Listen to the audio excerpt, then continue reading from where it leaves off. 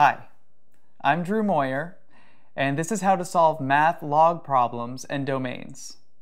Let's suppose we're given the following problem. y equals log of x plus 2, and we are told to find the domain.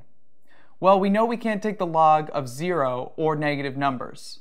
So we know that there's going to be a vertical asymptote somewhere on this graph that is going to prohibit the x values from going past it.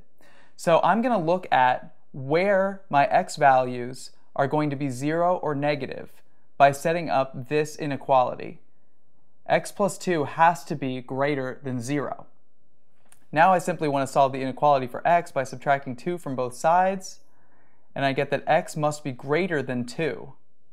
So again, since we can't take the log of 0 or negative numbers, we know that a vertical asymptote on this graph must exist at x equals negative 2, which means that the domain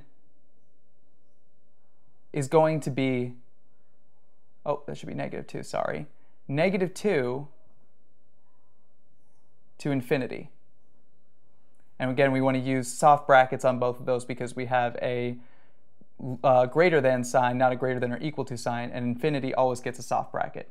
So the x values for this graph must always be between negative 2 and infinity.